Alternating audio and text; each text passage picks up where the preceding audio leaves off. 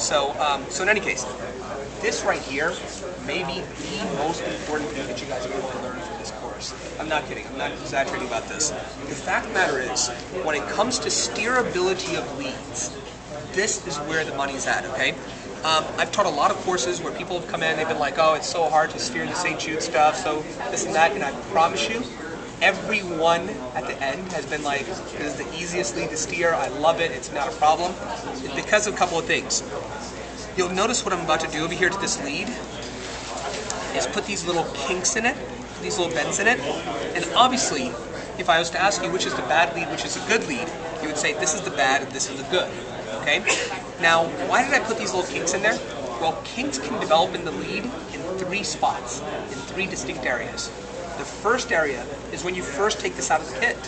When you first take this out of the kit, each of these little kinks approximately corresponds to where they have these little grommets, these little clips, that essentially, if you're not paying attention to it, somebody will go and grab it and pull it out of the first clip and get that kink.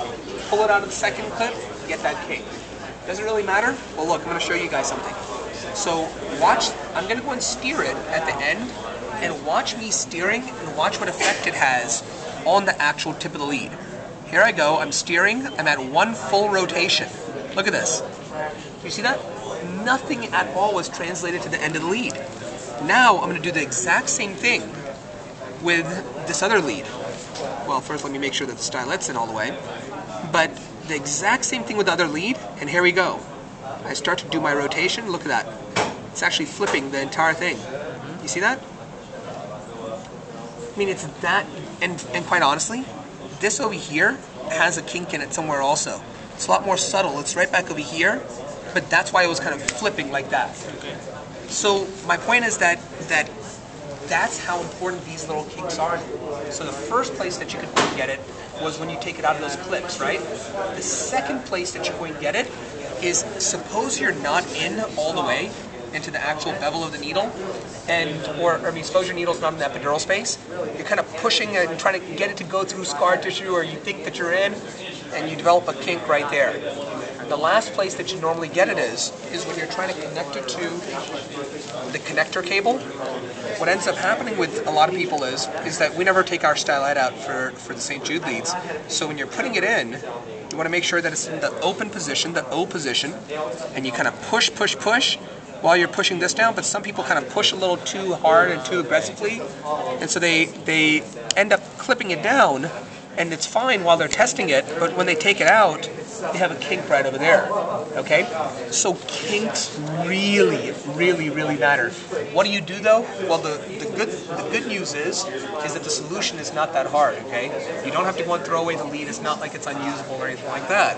So what you do is you take the stylet out and you and all you have to do is in the kit they come with a straight stylet. You just need to make sure that you're cognizant enough to go and put a little bit of a bend over here at the end. So I'm just putting a little bit of a bend over here. And then all you have to do is just restylet the actual lead. Here we go. And you restylet the actual lead, and what ends up happening is, is that you end up with essentially a brand new lead. You see? This is that same one that was kinked over there before. So that's one thing. But there's one more exceptionally important rule that I have to tell you guys, okay? When you're steering these leads, when you're actually putting this product in, you, these leads operate kind of like the old the old cars used to without power steering, okay? Before power steering, you know, I mean, you couldn't turn the wheel if you were sitting still. You'd have to be either moving forward or you'd have to be going in reverse. And that's how these leads operate also, is that if you're not moving, you will not be able to steer the lead. Okay? So what you'll notice is, and I'm going to demonstrate it over here first and then let you guys practice, but what you'll notice is, is that when I go and advance my lead, I'm always, always in motion if I'm trying to change the direction. What, and so even if I kind of stop or stall somewhere, what ends up happening is, is that what you'll notice is I start going back and forth, back and forth, back and forth until I can go and flip the direction. just, and I'm not talking about back and forth. I'm not talking about big motion. I'm talking about little, you know, just little motion back and forth. I mean, you know, half a centimeter back, half a centimeter forth, until I get it to flip the direction into the direction that I want. Okay? So let's go and take a look at this over here on the screen now. So here we go. Another important thing to go and know is that you want to go and leave a little bit of slack if you're not paying attention. A lot of people go this far and they, they slide the lead off the stylet. And so you just need to be kind of mindful of that.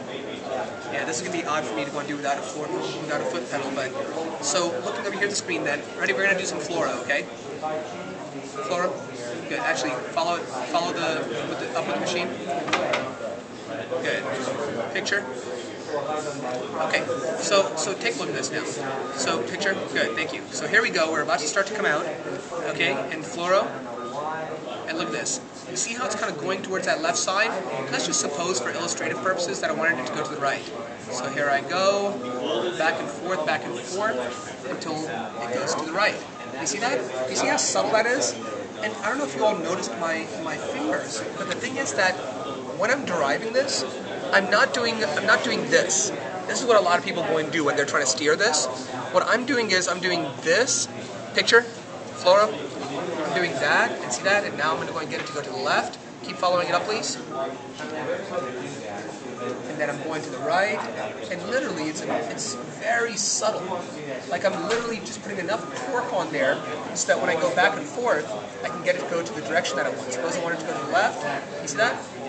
So it's not a very aggressive motion. It's not a twist, twist, twist, twist, twist kind of motion. It's, it's just very soft to the left, very soft to the right, and just constantly making sure that you're actually moving this back and forth, okay? So I want you guys to go and practice this over here. With the, with the needle in place, I want you all to each go and practice steering this so you can get a feel.